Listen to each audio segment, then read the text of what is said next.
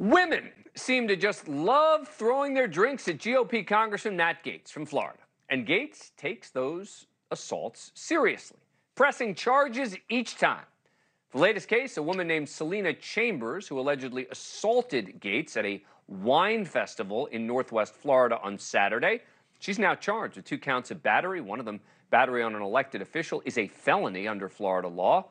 Gaetz described what happened on his podcast catching up with new friends and old, and folks recognized me, and so we were taking pictures and having polite conversations. And as I was chatting with one gentleman, a lady threw a drink on the both of us, and she was promptly arrested. I want to thank the great folks at the Walton County Sheriff's Office who ensured that this did not escalate and that everyone is kept safe. When leftist winos attack, that's what it said there on the screen. Now, for what it's worth, Chambers told police she simply tripped and her wine splashed onto Gaetz, although other witnesses refute that. Gaetz went on to assure everyone that he's pressing charges so all Floridians will be safe from drink desperados. Quote, I will never allow the safety of Northwest Floridians to be compromised. I'll be pressing charges against this individual in order to uphold the civility our community deserves.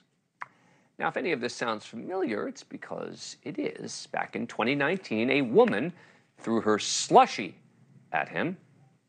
It wasn't a direct hit, she sort of missed, but it was enough to get the woman, Amanda Kondratyev, 35 year old mother of two, who briefly ran against Gaetz as a Democratic challenger in 2016, got her 15 days in prison.